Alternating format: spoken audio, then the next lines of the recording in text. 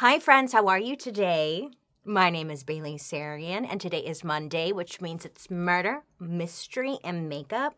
Monday! If you're new here, hi. My name is Bailey Sarian, and on Mondays, I sit down and I talk about a true crime story that's been heavy on my noggin. And I do my makeup at the same time. So if you're interested in true crime and you like makeup, I would highly suggest you hit that subscribe button because I'm here for you on Mondays.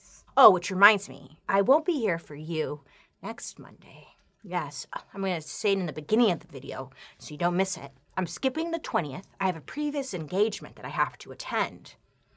So I have to skip next week on the 20th, but I'll be back on the 27th with a new video. And today we have a new video. Hello friends, just popping in here because I need to talk about something that's been sitting heavy on my noggin. Something I want to get better at is, uh, you know, being creative with my gifts. It's like an art form. And that's when I had my light bulb moment. If I could give the gift of food I mean, who doesn't like that? Let's be honest here. There's nothing better than having a meal ready for you when you're hungry. And that's why I love HelloFresh. HelloFresh is a meal delivery service that allows you to skip meal planning and grocery shopping. They deliver step by step recipes and fresh, pre portioned ingredients right to your front door, or even maybe your friend's door if you're, you know, want to give the gift of food. Every week, HelloFresh has 40 recipes you can choose from, and they have these easy to follow recipes for every type of meal you could possibly be craving. I'm talking from soy glazed salmon with rice to mushroom and chive risotto.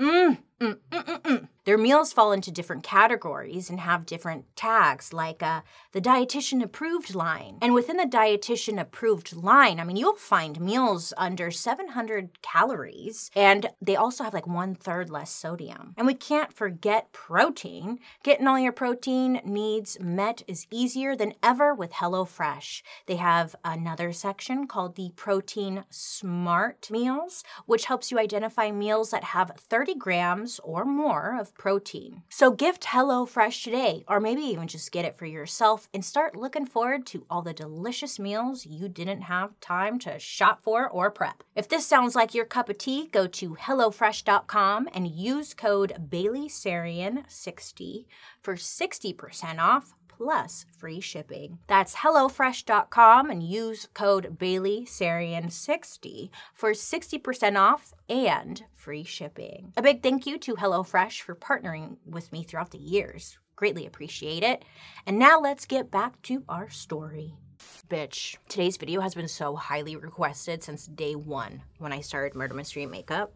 And I've been avoiding this one because of how awful it is, okay? like, it's all bad, okay? I've been putting this one off. Like, just letting you know right now, full disclosure, all of these stories are bad. But this one, I legit like lost sleep over. So just a little disclaimer here, you know, I'm to be covering a lot of messed up territory. I'm talking about child abuse, child murder, uh, severe mental illnesses, obviously murder, torture, everything and anything, okay? So, um, just letting you know right off the bat, this one is a very intense story, and this man was very, very sick in the head to the point of putting pins in his testicles. Oh, yeah, pins in the testicles. And there's proof, photographic images to back that up. So it's like, okay, what I'm getting at is buckle up, bozos. Today's story is about a man named Albert Fish. I know, and I, I know. Because I was like, oh, fish, cute. Not cute. Ugh, this guy sucks. Boo. Okay, so today we're talking about Albert Fish, right? So he actually wasn't born like Mr. Albert Fish. No, he was actually named Hamilton Howard Fish. Yeah, and he was born in May of 1870. I know, 1870. Can't even imagine what that was like, but he was born. Albert was the youngest of five kids born to Ellen and Randall Fish, and they lived in Washington, D.C. The first thing to note is that he changed his name in his teenage years to Albert, which the name Albert was his brother's name, and his brother had died. I'm not sure how he died, but I guess he wasn't using the name anymore, and Albert was like, yeah, it's mine now. I'm not sure. It was said that he hated the name Hamilton because the kids would tease him and call him ham and eggs. Yeah, like that was bad or something. Ham and eggs. But it bothered him. Okay? He didn't want to be called ham and eggs. But honestly, like, uh, by the end of this, it's probably the nicest thing anyone has ever called this guy. So, anyways, I'm just gonna make it less confusing. I'm gonna call him Albert. Got it? Good. Okay, so Albert's parents, Ellen and Randall, they had a whopping 43 year age difference, which, you know, that's not bad. But it's like by the time Albert was born, Randall, his dad, was 75 years old. And, you know, it's like he just wasn't, he wasn't around long. Like when Albert turned five, his dad died. So it's sad. I forgot there's there's cannibalism in today's story too. Disclaimer okay, so his dad died when he was only five. And like, I guess it was a pretty big deal because when Randall died, Ellen lost her shit. Okay. Obviously, as a wife, she's mourning the loss of her husband, her partner. Sad, awful. But allegedly, she was already mentally unstable and apparently she had this is I'm talking about Albert's mom. She had suffered from like visual hallucinations and she heard things, people talking to her. She saw things, you know. We don't know because we weren't there, but so it's all alleged, I guess. Don't come back and haunt me, ghosts, okay? You guys are keeping me up at night. So the death of her husband just really pushed her like hallucinations over the edge. She just couldn't take care of herself or her kids anymore. So she decided to place them up in an orphanage. You know, okay, look, real talk. Some sources say just Albert got sent to an orphanage. And then other sources say that all the kids went to orphanage, like different orphanages. orphanages. orphanages you know when you say it too much, it just doesn't sound right. Anyways, so either one, but either way, what we do know is that Albert went to an orphanage. So I'm sure you've heard about like the 19th century uh, old timey orphanages. I think everyone kind of has an idea of like what that was like. And if you don't, well, I mean, they just look at the end of the day, these old time orphanages, they were not great at all. They were actually very bad. There really aren't that many stories. I'm sure they're out there, of course, but they're a little bit harder to find. These stories where like a little kid goes to an orphanage and has, you know, a super great time and just becomes like a great superstar. What you know, it's just like hard to find because a lot of the times these places were just not great. To paint the picture of what life was like in your average everyday like run of the mill Catholic orphanage in the 1800s. Kids were faced with constant abuse, mutilation, sexual assault, and sometimes just straight up murder. There was this super famous lawsuit in 1996 against a Catholic orphanage called St. Joseph's in Burlington, Vermont. One of the star witnesses described watching at least two children die at the hands of nuns. Particularly one time when a witness saw a nun throw a little boy out of a fourth story window, and like she said, she saw the body bounce off the ground and obviously very traumatizing, but like this was normal behavior. Not at every orphanage, but you get the point. Like they just were not the safest spaces, okay? That's all I'm getting at. There was a lot of naughty nuns just running around, just mm mm mm. I don't get it. How could you say you love Jesus and be throwing people out the window? Like I don't understand that. It's so sad. Poor Jesus. He's like, I don't want anything to do with this. It's not funny. It's just like a little inside joke between me and you. Anywho, so that place was a doozy. but uh, a lot of them were pretty much like that. And this particular orphanage where Albert Fish was dumped was no exception. It was called St. John's Orphanage in Washington, D.C. And Albert said that, like, almost every day he was beaten there. he was beaten up by other kids, he was beaten up by the nuns.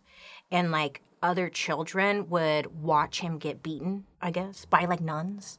So they, they being the nuns, would allegedly strip the children naked before whipping them and humiliate them by having their peers watch. Yeah. So, as you probably can imagine, maybe, when you're subjected to horrendous abuse as a child, it's going to do something to your brain. Hi, welcome to Murder Mystery Makeup, where literally a bad childhood I mean, I'm talking trauma. Well, fuck you up. But for Albert, it was said that, like, You know, many theories are out there, but many believe that it was a defense mechanism that he kind of started whenever he would be getting beaten by the nuns, where he kind of flipped it in his head and he started to enjoy it.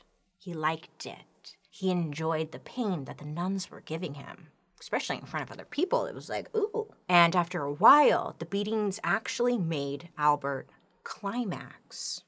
Whoa. That's got to be real confusing, especially for a kid. Like, huh? So we're not off to a great start, as you can see, with Albert. So things really just escalated from there. I mean, Albert started beating other kids himself. And then on top of that, he started self harming. Albert would burn himself with ropes and swallow needles. We'll circle back to that. But yeah, as a kid, right? Like that's fucked up. Also, on top of that, a lot of people would notice that Albert started reading like a lot of books and articles about criminals. I mean, same. But, like, you know, his obviously is a little bit more severe. It, it, just, like, fits into his larger profile. He's getting off on pain, and not just other people's pain, like his own pain as well. It's just not, it's not a good combo. Okay. So at some point, Albert's mother, she ends up getting it together, and she finds herself, like, in a better place. So she um, is able to get Albert back from the orphanage and she brings him back into the family home at the age of 10 which sounds like a good thing, but by this point, like the damage was already done, okay?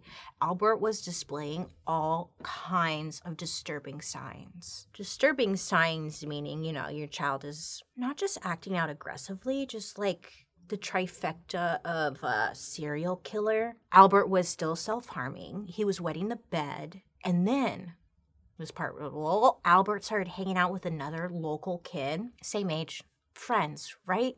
Friends, finally, normalcy, yay. But when Albert and his friend got together, I'm not kidding.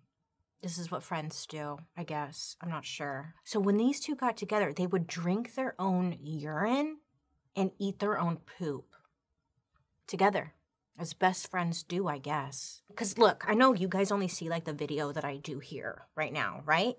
But like I'm always working on stuff, stories and whatnot. And like lately, I've been coming across this weird theme of people eating their own poop, like serial killers and stuff. And I'm seeing it more and more. And it's like, did I just not see it before? No, right? Like I've never. I, uh, uh, uh? Huh? Now, if that's not a red flag, I don't know what is. Okay? So, eating poop together, wow, love that. I can't judge. I mean, yeah, I can. That's nasty. Okay, so his other hobbies weren't so great either. I mean, obviously, still better than eating poop, but like he would spend his weekends visiting public pools where he said, quote, he could see young people without clothes.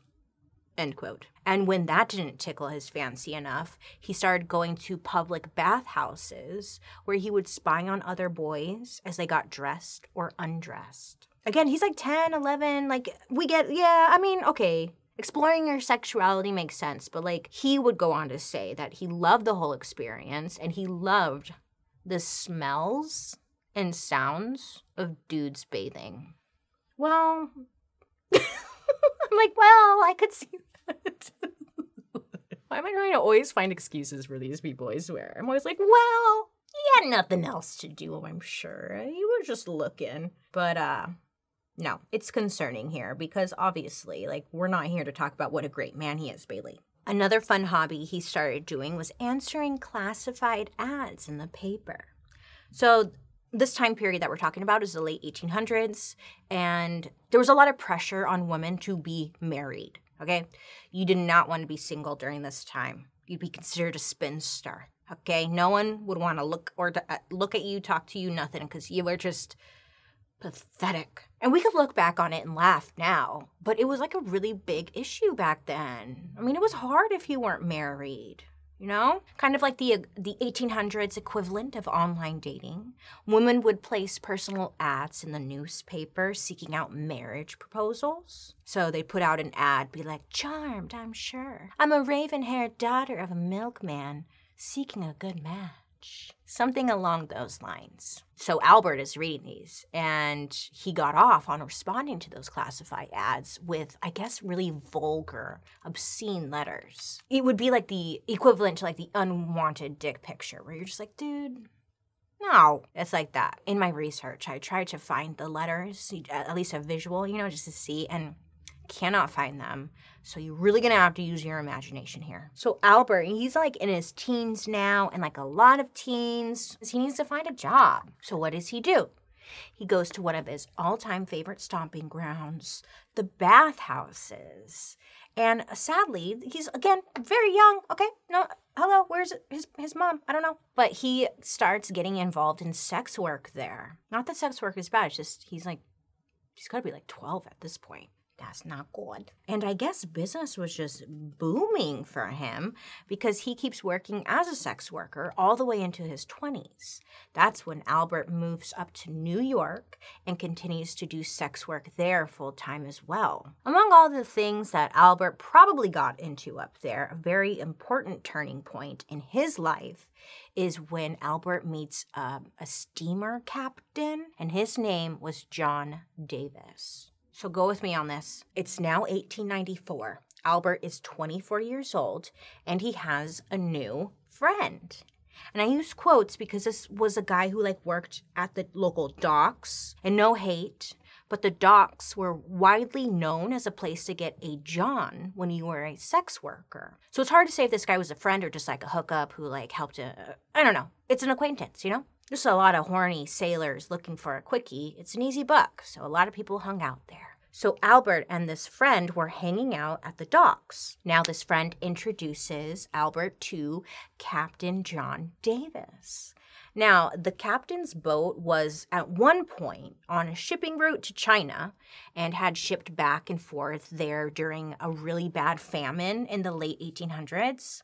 It was called the North Chinese Famine of 1876 to 1879, and it was brutal. I'm losing my voice. Millions died. Millions. Some estimate up to like 13 million died during this time. Apparently, meat was at a premium. People during this time were so desperate that they were selling their children for meat. I'm telling you, history's wild. Anyways, and this captain fully confessed to, to Albert. And actually, it was more like he was bragging about it. This captain tells Albert that he had a, quote, acquired taste for human flesh, end quote. So he's kind of humble bragging, like, yeah, that's all I eat, human flesh.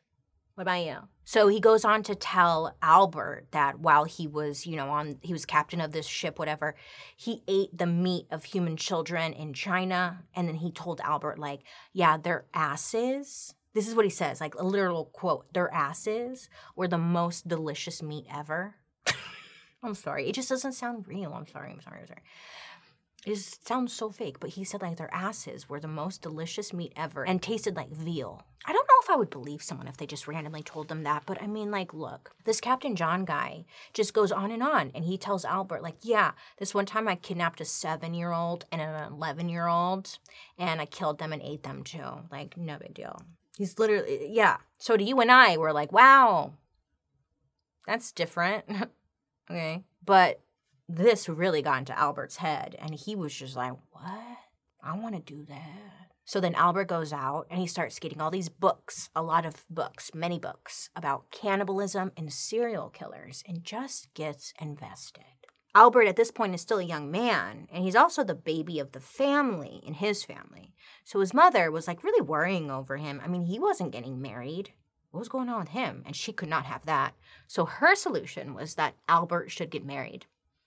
That's it. Albert's getting married. So his mother, Ellen, does a little matchmaking you know, in 1898, when Albert is 28 years old, she arranges a marriage with a woman named Anna Chapman. And weirdly, it kind of works out, you know? Albert meets Anna. The two settle down. He gets a respectable job. Uh, he's working as like a house painter. And he and Anna, they would go on to have six kids. I mean, they were officially busy. Okay? They were busy. Six kids? Yeah, busy. But of course, it doesn't take too long for Albert to get bored. Let's be honest here. He wants to get into trouble again. At this point of, of his life, he does get thrown into prison for committing fraud and something else and I couldn't really figure out like what the fraud was that he was doing. Once again, this story is like very old, right?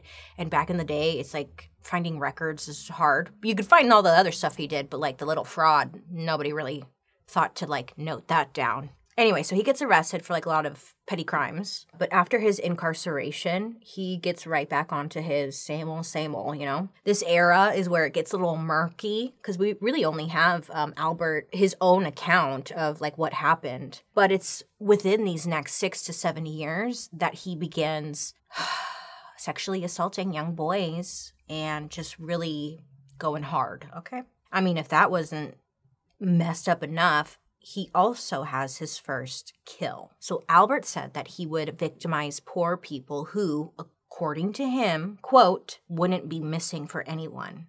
So he was targeting a lot of people of color. He was targeting people with mental health issues. He was targeting the poor. His work as a house painter and being self employed pretty much allowed him to like take jobs anywhere he wanted. And he figured the police eh, they wouldn't throw themselves into finding these types of missing people. And it's sad because it's like, fuck. And then to put a little bow on top of all of his bullshit, I'm like whispering because I don't want any, my neighbors to hear me. the bow on top was that he also liked targeting another particularly vulnerable group, uh, the physically disabled. I know. Ugh, this guy's Satan. He really is. I think he's Satan. Pretty sure. This is him. Oh, right here. Don't look. Don't give him eye contact. He'll turn you into the devil. So, yes, at this point, Albert has now escalated from simply eating his own poop to now just being a total piece of poop, you know? And he's like not just satisfied with like rape and killing. YouTube hates the word rape. It's so stupid because rape is like what it's called. Like, what else? They want me to use, like, what is it? Like, what they go on TikTok? Fake words I'm like, I'm not going to use fake words. It's called rape. That's what it's called. Why is that censored? Whatever. Yeah, he's not just satisfied with that. He wants to get into torture. Albert now wants to explore rape, torture, kill, or aka sexual uh, sadism, it's called. Not to be confused with BDSM, bondage, domination, sadomasochism, which is supposed to be consensual. Always consensual. Don't don't nay nay. But with Albert, there was nothing consensual about what Albert wanted to do. And he claimed that in 1910 he had his first sexual sadistic victim. Is it sadistic or sadism? He had his first, uh, like sexual, like real sick victim, a 19 year old disabled man named Thomas Keaton. Now listen, poor Thomas.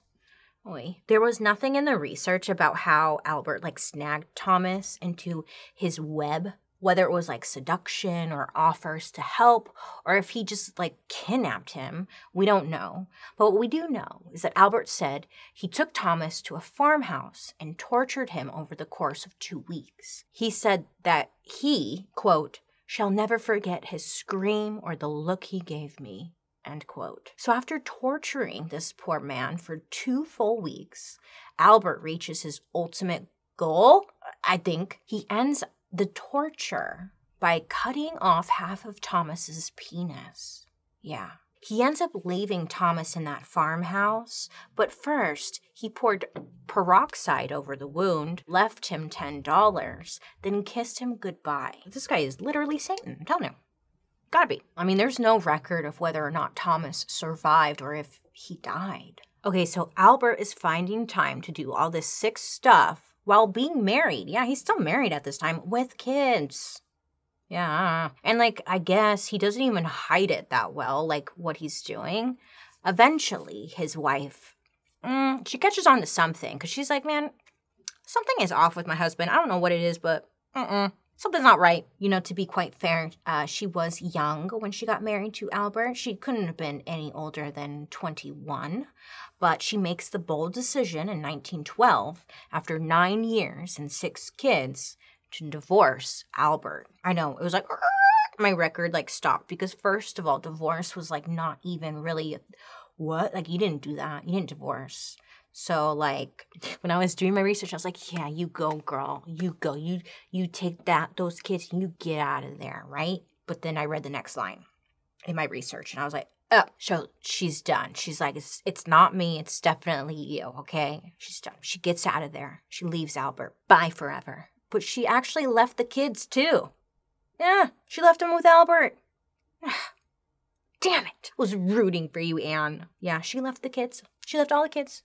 She was like, I'm gonna go start a new life without any of you. Goodbye. It was said that Albert was like deeply affected by his wife leaving him. And he had to like find new ways, or he was finding new ways to cope with the pain.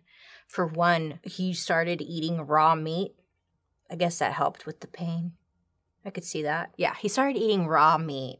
Um, he also fed his kids raw meat. Okay, all right, you know. And then he also started stabbing himself in his testicles with needles. And I'm not just talking about like a poke, whatever. He would take no- needles and he would jab them, big needles, all the way into his sack. Now, Albert would claim that it helped him deal with the loss of his wife. Yeah, let that marinate. So I think it's safe to say that Albert isn't adjusting very well to being single and a father. So at this point, uh, Albert is deep into his torture phase right now. You know, he didn't know how to ha- deal with the loss of his wife or whatever. whatever. But um he started getting a little crafty by like working out or kind of creating these things called um instruments of hell. And these were like different tools that would help him torture children, like paddles covered in nails, a meat cleaver, different knives I just had different sharp edges and just to the extreme. So he's like working on these, crafting, saying that it's helping him take his mind off of the separation of his wife. Like it's just so bizarre, right? Like, okay, sure. But Albert, I mean, he's crafting away, trying to. Uh, I don't know what he's trying to do. I don't know what his his end goal is here. And you know what's even more annoying? This is a side note, but like I couldn't find anything about him being a dad. like, was he a good dad? At the end we get a testimony, but I don't know what his kids do. I hope they're okay. Couldn't find nothing. Anyway, so by the time Albert is 40, when he's 40, he's ready for a second chance at love. So he gets back into the, his personal ads thing, trying to find his perfect match. So he's writing all these different women, asking them if they would be into like getting together and also be a real partner in his desire to inflict torture and death on young children. XOXO? Apparently he got very graphic, but tried to keep it romantic. He didn't get any offers. How come no one reported him to the? I'm not sure how it worked back then. I really don't. Like police? Like how come no one reported that? Maybe they did. I don't know. So hard to find information on older stories. I just wonder how they solved mysteries back then. It seemed so complicated. You know what though? Albert was in luck. He did end up finding a second wife who he ended up marrying between the year 1912 to like 1915 ish. So he somehow meets another woman. I know. I can't even get a second date. So he marries his second woman, he settles down with her, and he starts getting some good painting gigs. Things are on a bit of an upswing for him. Albert even gets commissioned by the Second Presbyterian Church in Chappaqua, New York. So he gets commissioned by this church to paint some angels on the church ceiling. I know, I guess he was like a really great painter. I don't know, probably an overlooked fun fact about him, but I guess he was. For obvious reasons, overlooked. But it wouldn't last long because his second wife would leave him as well. But like this second divorce, it just really um, mm, uh, unleashed something because now Albert says that he's starting to think that like the angels that he was painting, these angels were now talking to him. Yeah. So he said that these angels are talking to him. He's hearing voices within the church urging him to commit crimes in the name of Saint John the Apostle. Okay, so who's Saint John, you ask? Well, we could do a whole video on that, huh? But uh, to put it simply, he was the guy, the man who wrote the very last book of the Bible while in exile. It's called Revelation, or the Revelation of Saint John, or the Apocalypse of Saint John the Apostle. Yeah, have you ever read Revelation? Have you read that one? It's that one book of the Bible that actually reads like a horror film. No, horror novel. Sorry. it's Bible. it's all about the end of times. It's got, you know, the one with the four horsemen. It's got an all ending disease, the earth dying, and the sea boiling into blood. It's very dramatic. So, according to Albert, John was telling him to commit crimes. John, the John who wrote the Revelations or whatever. Yeah. So he's believing this. And I mean, if this guy, if this St. John guy, whatever, is asking you to commit crimes in the name of the Lord and Savior, whatever. Like he's thinking, oh, this is legit. Like I have to do this. Or he's making it all up. We don't know. So all of this was really just setting the stage of what would be Albert's most visible crimes starting in the year of 1924. So at this point, Albert is now 54 years old. But back then, when people were having kids super young, 54 was already considered like prime grandpa age. Don't come for me. This is like back then in the old Now, no. Now we don't consider it prime. No. 54 is still young now, baby. Live. But back then, prime grandpa age. So Albert now has like this kind, soft spoken, wise grandfather approach to him. He had a gray mustache, very full, okay? And he was um, very demure, and not imposing at all. And he apparently had these really beautiful blue eyes that, oh, I'm doing blue eyeshadow, what a creep. And he apparently had these really beautiful blue eyes that mellowed into what people had described as, quote, warm and welcoming, end quote, in his old age. So this sucks, right? So he's got this friendly face and whatnot. People are like, oh, nice old man. Great. As you can imagine, this is not going to end well. So on July 14th, 1924, an eight year old boy named Francis McDonald was playing on his porch in Staten Island, New York. So Francis's mom, her name's Anna, she was sitting on the porch. She's like watching Francis play, and she notices like a stranger kind of like down the street and walking, you know, towards the end of the street. She later described this man, this person walking, as a frail, elderly man with a thick, drooping gray mustache. She also said that this man was like muttering to himself and making strange jerking motions with his hands. She just made a note of this guy. She's like, yeah, he's kind of weird. You know, I don't know, but she just makes a note and good thing she does. So later that day, when Francis doesn't make it home after playing baseball in the park with his friends, the first person in Anna's mind was that guy, the old man. Now, Francis, the young boys, his friends said that he, Francis was like lured into the woods by an old man with a gray mustache. So these kids, they go and look for um, Francis, and that's where they find the poor little boy hanging from the tree. Yeah, I'm sorry. He was strung up by his own suspenders. Oh, it was, ah. Yeah, this poor little boy. He had been, Francis, little boy, had been uh, sexually assaulted, strangled, and his body was mutilated. Not only that, but the entire back of his left thigh, the hamstring, had been completely just stripped away. Just gone. Boof. Gone. Yes, whoever had done this took the hamstring. He needed it, I guess. What did Albert do with it? Well, he took that hamstring and he ate it. He ate it. He ate it. Albert, Albert, Albert. What are you doing? Honestly, why didn't he just eat one of his own kids? I'm just gonna say it. Look, you could have saved everybody else's time, everyone else's heartbreak, and you could just eat your own damn kids. I know it's not right, but it was an option. And I feel it's very selfish, Albert, that you are going out here and you are killing other people's children. That's not okay. We don't do that. So Albert was never caught for the killing of Francis, but he did get another nickname in the media. So his first nick- nickname was Ham and Eggs, Fish, remember? But now he was known as the Gray Man. Gray Man? The Gray Man, man, man. So the next major killing, now I'm saying major and visible because Albert himself claims to have been killing basically nonstop since 1910. But the crimes I'm talking about right now are the ones that he claimed and um, he put like a lot of extra effort into. So just keep in mind, like this whole time he's been killing allegedly, not caught, obviously. And the next major killing after Francis was a little four year old boy named Billy Gaffney. So on February 27th, 1927, Billy was last seen playing with a friend in the hallway of his Brooklyn apartment. After a while goes by, no one sees the boys playing anymore. I mean, it seems like they just disappeared. They eventually find Billy's friend on the roof of the building, and like most like he's like freaking out. Uh, he's fr- he just seems spooked, and he tells the adults that the quote unquote boogeyman kidnapped Billy. What?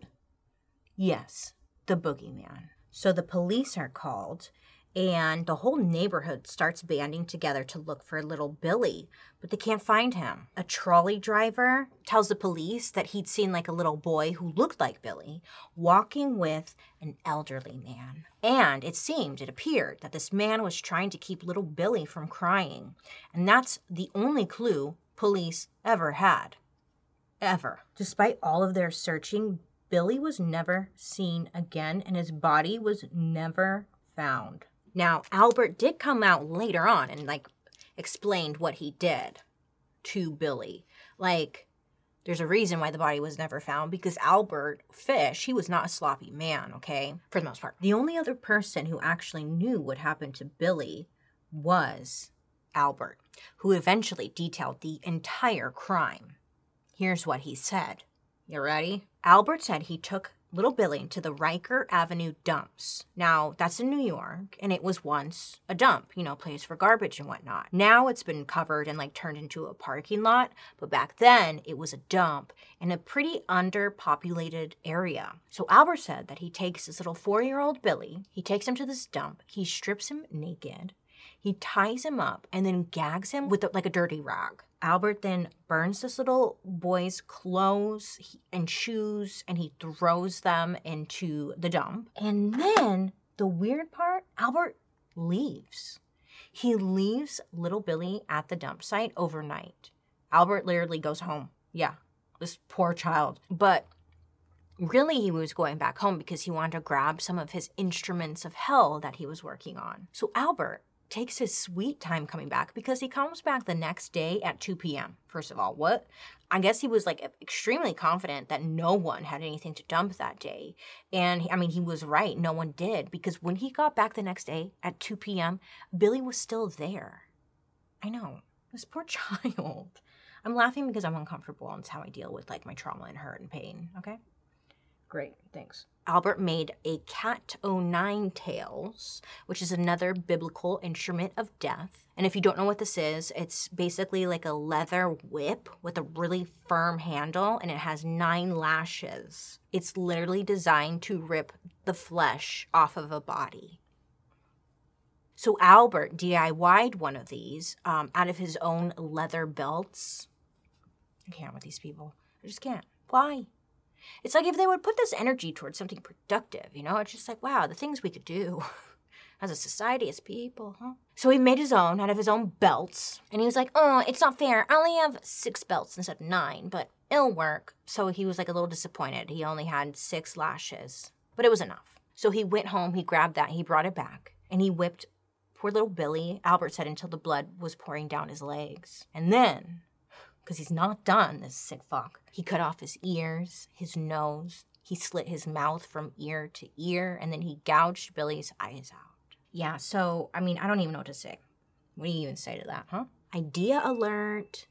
What if you, like, didn't do that? Crazy thought. What if you, like, just didn't do that? After all of this, Albert says, this is the point where Billy died. Yeah, Mm. But this absolute demon isn't done with little Billy. So Albert takes the pieces that he had cut off the ears to nose. He cuts off part of Billy's face, his belly, his butt cheeks, his penis, and his balls. And he takes that all home. Um, sorry, I'm just.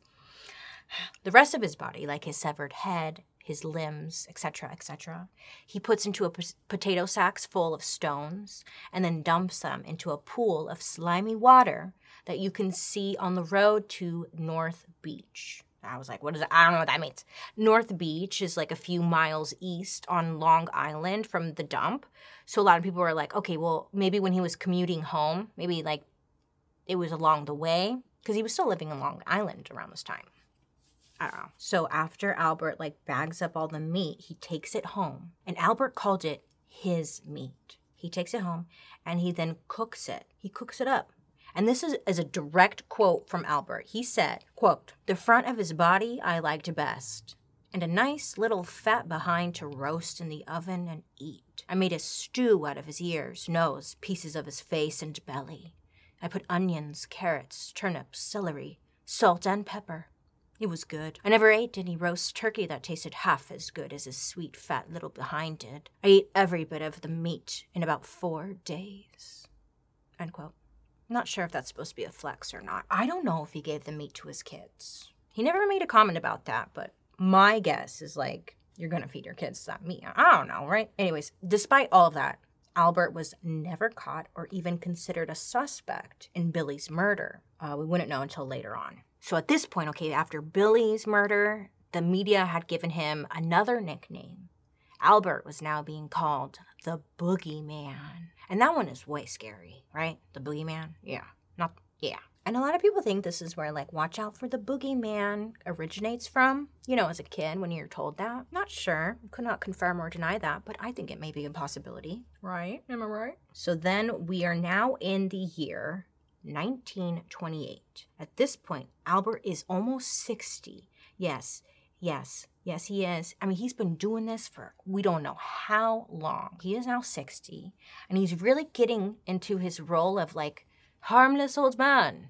Like, people just love this guy. So he plans this elaborate way to get his next victim. And he had his eyes set on an 18 year old kid named Edward Budd. Albert Fish, now going by the name Frank Howard, takes once again to the newspaper and puts an ad out. So he doesn't legally change his name, but he's just using this as, you know, his ad name. So he pretends to be a farmer from Long Island who wants to give someone a job in a town called Farmingdale.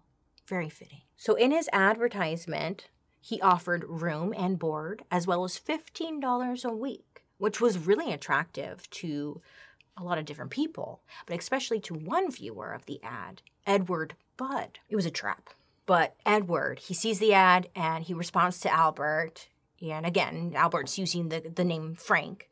And Frank's like, okay, I'll hire ya. So Albert goes to Edward's house. I'm not sure why. Like, I couldn't figure out why, but it, it, happens. Albert goes to Edward's house in the meatpacking district in Manhattan, which nowadays is, I guess, like a chic, rich neighborhood with lots of nightlife and hotels. But back in the 1920s, it was a meatpacking district where a lot of working class people worked in slaughterhouses and meatpacking warehouses. And people were not well off in this area, many of them um, very poor and would even starve to death. So when Edward gets this job, I mean, it's huge. Not only for him, it's huge for his family as well. And they're really hopeful that this job is going to work out for him. It's going to bring money. I mean, shit, yeah, hell yeah. So Albert shows up on June 3rd and he has, you know, brought some gifts for the family with him, straight from his farm, which, side note, Albert doesn't have a farm, but straight from his farm. So Albert brings the family creamy cheese and strawberries. And the family was like so charmed by his gifts. And I mean, they just liked this old wise man right away. So they're like, Do you want to stay for lunch? Come on in. Come on. So Albert's like, Yeah, I'll come in and eat a nice little snack and take a little break. But while doing so, that's when um, Albert meets Edward's little sister. Her name, well, she's 10 years old, and her name was Grace Budd. So, sweet little Grace, she suffered from anemia. So, with anemia, you're uh, weakened and lightheaded and just tired all the time, which is a really sad state to be in as a child. And well, there are a lot of reasons why a person can become anemic. Lack of nutrition is sadly one of them. So she was very weak and fragile and usually quiet, very shy. But something about Albert, I don't know, he, again, he had that old man likability thing, I guess.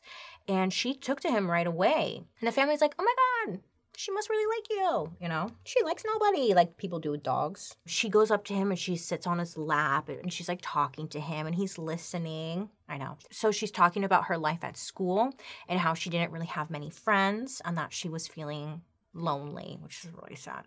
And Albert is one thing for sure.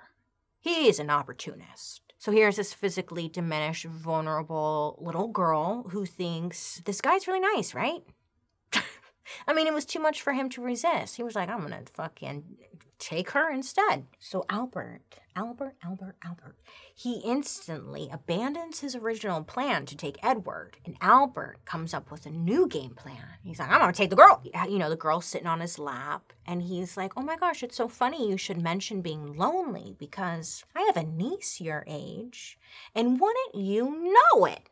I am heading to her birthday party right now. And little Grace is like, oh my God, wow. She's happy because Albert is inviting Grace to go with him to the birthday party. And Grace and her mom are just really happy. And for some reason, like we can't judge, but they really trusted him. Grace's mom described Albert as like a frail little man with the most blue eyes and a very gentle voice. So Albert agrees to take Grace with him to the birthday party uptown. And then he's like, Yeah, I'll bring her back. I'll collect Edward and we'll go back to my farm, my farm job. So the two of them say their goodbyes. And sadly, that's the last time anyone ever saw Grace Budd alive. I know, sad. Fuck that so as the night's going on, you know, the, the two haven't come back. So Grace's mom thought, well, like, what if they were in an accident? So she and her husband rush to contact the the police the next morning. So they go to the police and they're giving them all the information. And the police tell them that not only was there no record of any incident or accident involving an older man and a young girl over the past day, but that they had no record of a man named Frank Howard from Farmingdale. Dun, dun, dun. Fuck. So, Grace Budd going missing. This is the case that gets a lot of attention. It gets a lot of attention, like in the media, everyone's talking about it, but police have so little to go on. They have really nothing. The only hard evidence they had were a set of fingerprints and a handwriting sample from a telegram signed by the mysterious Frank Howard, aka Albert, plus eyewitness accounts. I mean, again, this is a long time ago. And most importantly, like they don't have any solid leads and they don't even have a body, which it's hard to solve any crime without a body. The detective who was assigned to the case, his name was William King, he said he was grilling every known pervert and pedophile he could find. And then two years go by. The case is going cold. And then a potential lead pops up a woman turns in her 66 year old husband, a man named Charles Pope, uh-huh, saying that he had shown up at home with a little girl around the same time that Grace Budd had disappeared. So it turns out this Charles Pope guy had formerly been institutionalized himself, and I really couldn't find out what for, but I guess like it was enough. Because when his wife turned him in, the police were convinced they had their guy, their perp. This is our guy. This is him. Arrest him. But the evidence against Charles Pope was a little wobbly. You see, Grace's mom said, like, yeah, he kind of looks like the guy, sort of. And then they did a writing sample because they had that telegram from Albert. So they do a writing sample and it's not right. They're like, eh, if you squint, it kind of looks like it. And then get this even though his fingerprints did not line up with the fingerprints they had on record, which you would think, like, okay, at this point, that eliminates him as a suspect, right? No, because no. So they took Charles Pope all the way to trial. Yeah, this poor Pope. Mm-mm-mm-mm. Charles Pope, even though he ends up being tried for Grace's disappearance. His case ends up being dismissed. And it apparently became like very clear at trial that Pope's wife, she made the whole thing up and accused Charles of the crime as a revenge tactic. Could you imagine being that upset at your man? That is real fucked up.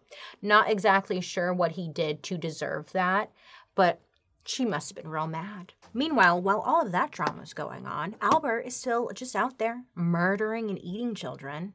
Okay? Albert's real busy, but he somehow finds time to then pencil in another marriage. Yeah, in 1930, when Albert was 60, there is a record that he married a woman who he met through a matchmaking service for desperate singles. That's what it said. Even back then, they had some desperate people, so don't feel so bad now. I guess this wife, though, she was a lot quicker than the previous wives because their marriage only lasted about one week. And then she was out of there. I would love to know what was said behind closed doors because she found something out. She had to. Albert would end up getting arrested on two different occasions for sending obscene letters to the mail. Even though he would use different names, aliases, he would go by like Thomas or James. His style was so obvious that police caught on that it was Albert. So he just kept getting caught, is what I'm getting at. He just needed to tone it down a little bit, huh? Because of this, because of him writing these wonky ass letters, he ended up um, being committed to a hospital for a while. Yet Albert was put under observation at New York's famous psychiatric hospital, Bellevue. While he was there, they determined that he could tell right from wrong, but that he was um, sexually sadistic, pretty much. Facts, you know, facts. So in June of 1934, at this point, little Grace has been missing for six years. And at this point, like, she hasn't she wasn't forgotten, that's for sure. Because one man has a lead that he ends up sending to Grace's family. What man, you ask? Well, none other than the farmer with the farm from Farmingdale, Frank Howard. Oh, Albert couldn't resist. Let me get this mascara on, and I'll tell you how he couldn't resist. So, a man claiming to be Frank Howard contacted Grace Budd's family through a handwritten letter. And not only did it contain gruesome details, but the writing matched the telegram that Frank Howard, quote unquote, Frank Howard, had sent the family back in 1928. Oh. So, in this letter, this Frank guy starts off like with a little tangent telling her all about the cannibal steamboat captain he met 40 years ago and the um, famine in China. I guess just in case they wanted a little backstory. We all like backstory. Thanks. In the letter, I basically confirmed to Grace's family that he was indeed the killer.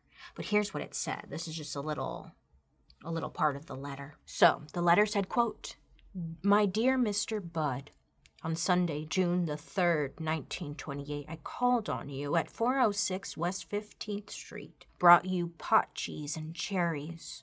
We had lunch. Grace sat in my lap and kissed me. I made up my mind to eat her. On the pretense of taking her to a party, you said yes, she could go. I took her to an empty house in Westchester I had already picked out. When we got there, I told her to remain outside. She picked wild flowers. I went upstairs and stripped all of my clothes off. I knew if I did not, I would get her blood on them. When all was ready, I went to the window and called her. Then I hid in a closet until she was in the room. When she saw me all naked, she began to cry and tried to run down the stairs. I grabbed her, and she said she would tell her mamma. First, I stripped her naked. How did she kick? Bite, and scratch. I choked her to death and cut her in small pieces so I could take my meat to my rooms, cook and eat it. How sweet and tender her little ass was roasted in the oven. It took me nine days to eat her entire body. This is a little vulgar. Well, all of it is. I did not fuck her, though I could have had I wished. She died a virgin. End quote.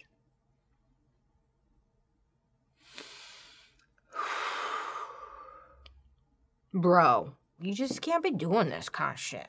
You just can't. You just can't. Can't be doing this, you guys. We need to talk this out a little bit.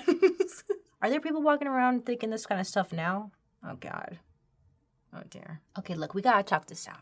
All right? You don't need to be killing and eating people. They don't taste very good. Probably just not a good idea in general to be doing that. Oh, makeup. Okay. So that's that's that letter. I don't know if he wanted to get caught, but that letter, even from an from his fake name, led to his capture because the envelope he used to send it was traceable. It had a logo on it, and detectives were able to trace the envelope to one specific location.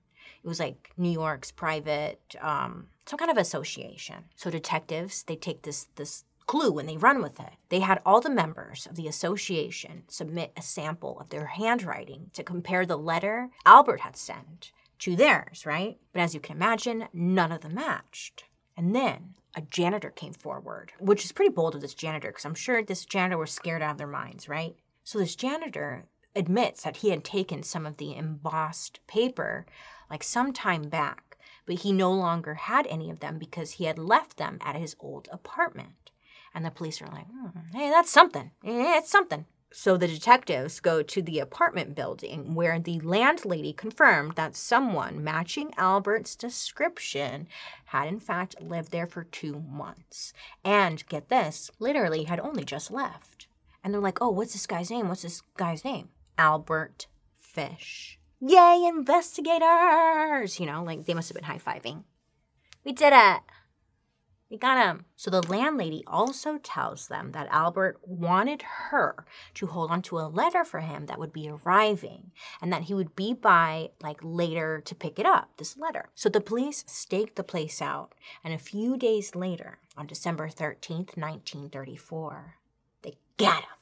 Finally, ugh, they finally have a killer that has been on a free for all for basically over like 25 years. And at the age of 64, Albert's spree, his little murder nasty spree, finally comes to an end. Just, that's a long time. It kind of seems like at this point he was ready to be caught because when he was arrested, he just spilled his guts. While in custody, Albert not only confessed to about a hundred murders, he said he had killed quote, a child in every state. Quite a flex, but sure, okay. Most importantly, for Grace Budd's family, he took police to the location where he had killed and buried her, and he also filled them in on like the details that he didn't include in the handwritten confession that he sent to her family.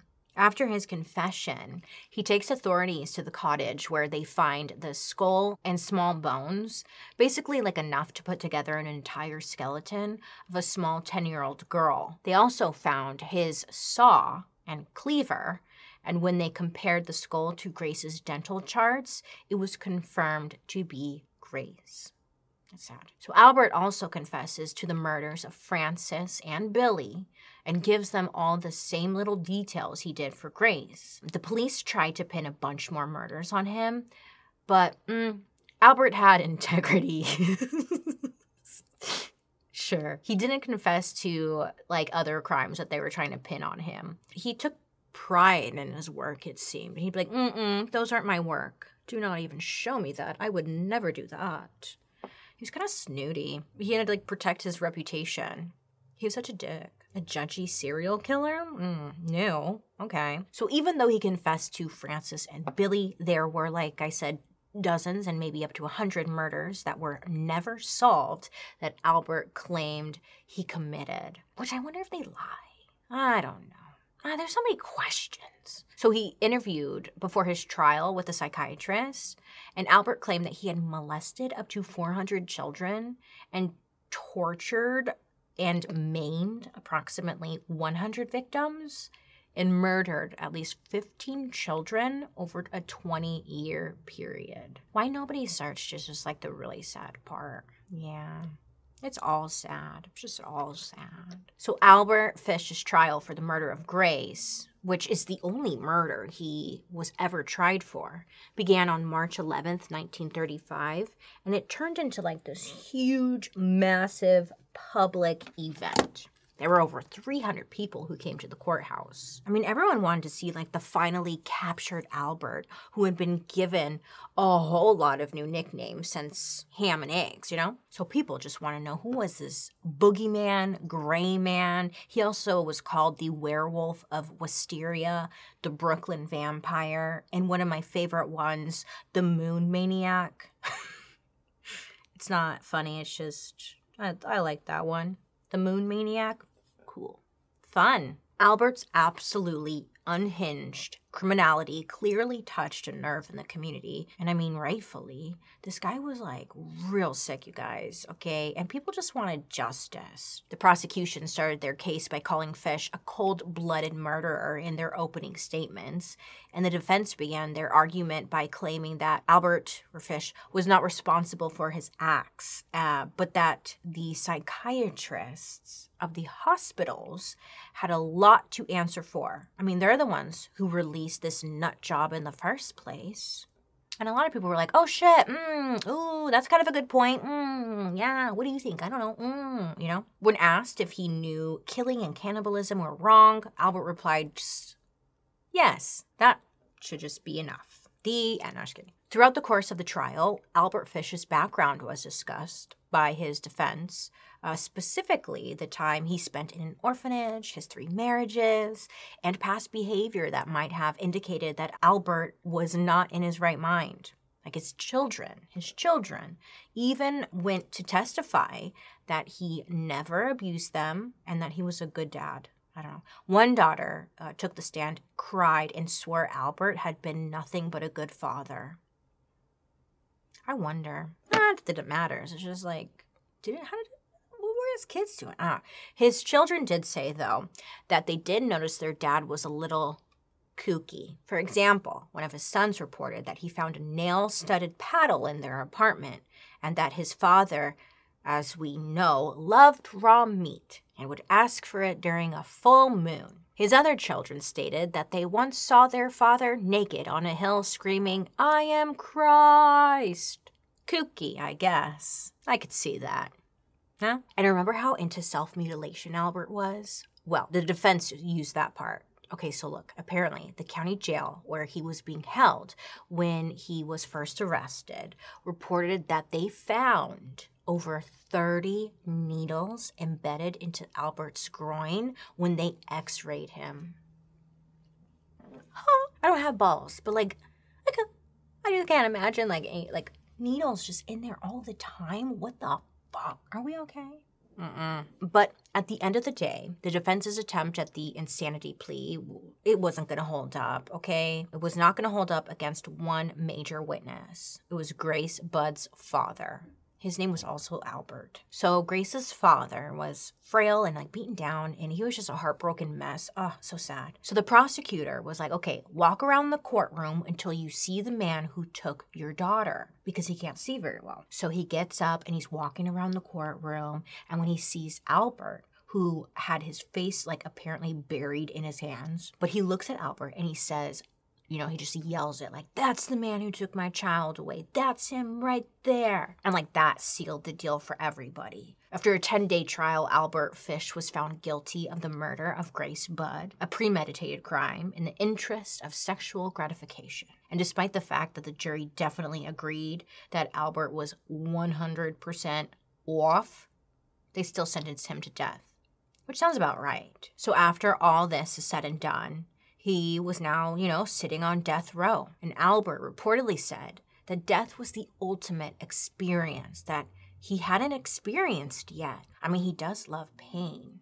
And he said death would be, quote, a supreme thrill. So, yeah, here we go. it's the most Albert thing that Albert ever did. Apparently, Albert became excited not only to die, but to do it in the electric chair. Like, this this is his Disneyland. And according to a Daily News journalist who was at the execution, said that Albert's like teary eyes flashed with joy at the thought of being subjected to much more intense heat compared to what he usually burned to satisfy his lust. He asked if he would be conscious at the moment of his death, and he said it was the only pleasure he had yet to taste his own death, the delicious pain of dying. God, he's such a little weirdo.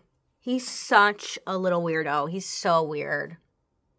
I roll. Let him go. Jeez. So at 66 years old, Albert Fish was sent to die by the electric chair at Sing Sing Prison in New York on January 16th, 1936. He was reportedly silent on his walk from his cell to the execution chamber, and then like he entered the chamber and his hands clasped in prayer. And then at 11:09 p.m., Albert Fish was pronounced dead.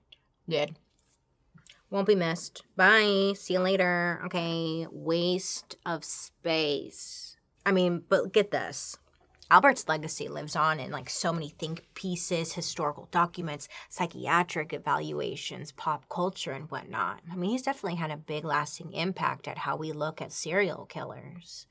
I guess. I mean, I'm not a doctor or anything. I'm just like, again, a girl in, a box. No. Poop. Okay. A fun little end note. In 2005, Westchester County, where Sing Sing Prison is located, tried to convince the Empire State Development Corporation to invest in tourism of the prison to let visitors see the electric chair where Albert Fish and other notorious killers were killed. You see, I guess like a lot of infamous criminals were executed there, and it never became a, thing, which, it, look, a lot of people like wanted this, but honestly, don't let it happen because it's giving major bla- Black Mirror vibes, right? No, no, we're not doing that. No, don't do that. Mm-mm.